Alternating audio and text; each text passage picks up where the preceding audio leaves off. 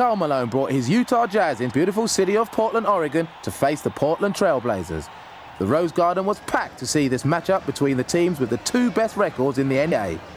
The Trailblazers' success has been quite a surprise season, but it was a consistent Jazz and their leader, Karl Malone, who got out to the quick start. The mailman was delivering as usual. Karl Malone underneath there, Stockton for another layup. Score. Portland's top player is their 5 feet 10 point guard, Stoudamire. He has the skill to score in different ways. His long-range shooting kept the close, and his lightning quickness can beat them at the end of this quarter.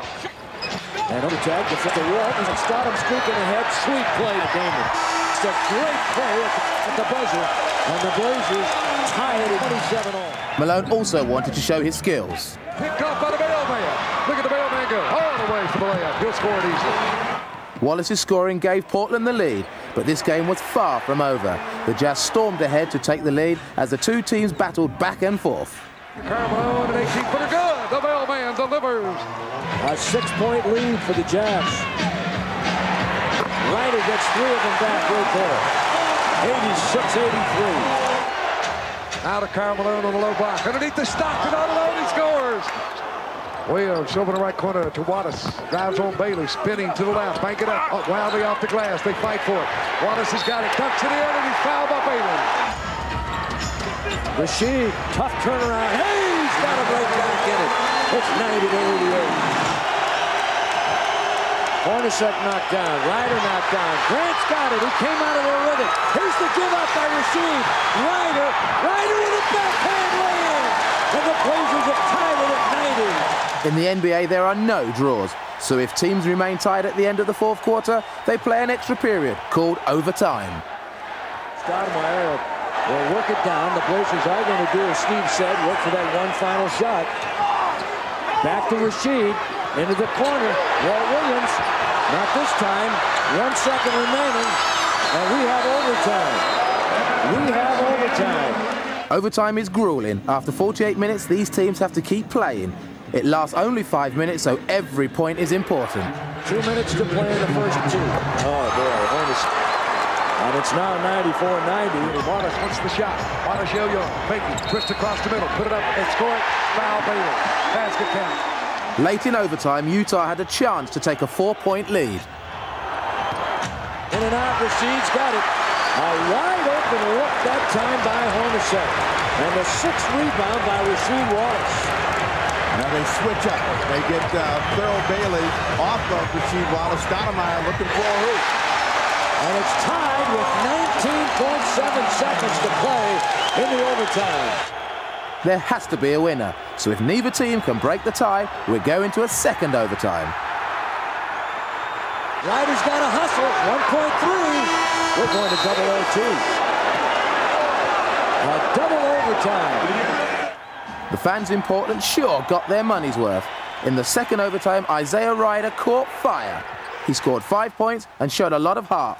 Portland took a three-point lead. 99, 96. There's Malone, back to Greg Foster. Portland was looking to add to their one-point lead.